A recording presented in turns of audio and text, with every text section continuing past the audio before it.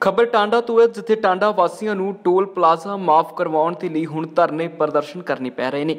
ਕਾਂਗਰਸੀ ਵਰਕਰਾਂ ਅਤੇ ਸ਼ਹਿਰ ਵਾਸੀਆਂ ਦੇ ਨਾਲ ਮਿਲ ਕੇ ਟੋਲ ਪਲਾਜ਼ਾ ਚਲਾਂਗ ਤੇ ਜਾ ਕੇ ਰੋਸ ਪ੍ਰਦਰਸ਼ਨ ਕਰਦੇ ਹੋਏ ਟਾਂਡਾ ਵਾਸੀਆਂ ਨੇ ਨਾਅਰੇਬਾਜ਼ੀ ਕੀਤੀ ਹੈ। ਇਸ ਦੌਰਾਨ ਵਰਕਰਾਂ ਨੇ ਸ਼ਾਂਤਮਈ ਵਿਰੋਧ ਕਰਦੇ ਹੋਏ ਤਕਰੀਬਨ ਦੁਪਹਿਰ 11 ਵਜੇ ਤੋਂ ਦੁਪਹਿਰ ਦੇ 2 ਵਜੇ ਦੇ ਨੇੜੇ ਤੇੜੇ ਟੋਲ ਪਲਾਜ਼ੇ ਤੇ ਵਾਹਨਾਂ ਨੂੰ ਫ੍ਰੀ ਫੀਸ ਕ੍ਰਾਸ ਕਰਵਾਇਆ ਗਿਆ। ਇਸ ਦੌਰਾਨ ਕਾਂਗਰਸੀ ਵਰਕਰਾਂ ਨੇ ਟੋਲ ਪਲਾਜ਼ਾ ਕਰਮਚਾਰੀਆਂ ਵੱਲੋਂ ਵਾਹਨ ਚਾਲਕਾਂ ਨਾਲ ਅਕਸਰ ਧੱਕੇਸ਼ਾਹੀ ਕਰਨ ਦੇ ਵੀ ਦੋਸ਼ ਲਗਾਏ ਨੇ।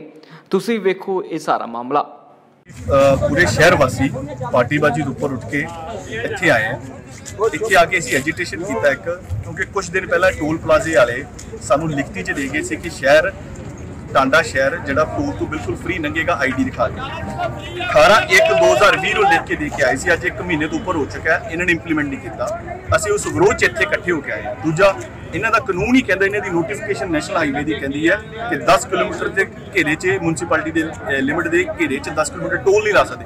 ਇਹ 3.5 ਕਿਲੋਮੀਟਰ ਦੇ ਅੰਦਰ ਲਾ ਕੇ ਬੈਠੇ। ਦੂਜਾ ਇੱਕ ਟੋਲ ਤੋਂ ਦੂਜੇ ਟੋਲ ਦੇ ਵਿੱਚ 60 ਕਿਲੋਮੀਟਰ ਦਾ ਡਿਸਟੈਂਸ ਹੋਣਾ ਚਾਹੀਦਾ ਹੈ। ਇਹ ਟੋਲ ਔਰ ਮਾਨਸਰ ਟੋਲ ਦੇ ਵਿੱਚ 42 ਕਿਲੋਮੀਟਰ ਦਾ ਡਿਸਟੈਂਸ ਹੈ। 18 ਕਿਲੋਮੀਟਰ ਘੱਟ 'ਚ ਲੱਗਾ ਅਸੀਂ ਇਹਨਾਂ ਨੂੰ ਕਹਿਣ ਆਏ ਆ ਕਿ ਸਾਡੇ ਆਲੇ ਦੁਆਲੇ ਪਿੰਡਾਂ ਦਾ, ਲਿੰਕ ਲੜਕਾਂ ਦਾ ਨੁਕਸਾਨ ਵੀ ਹੁੰਦਾ ਪਰ ਭਾਈ, ਇਹ ਨਹੀਂ ਕਰਦੇ।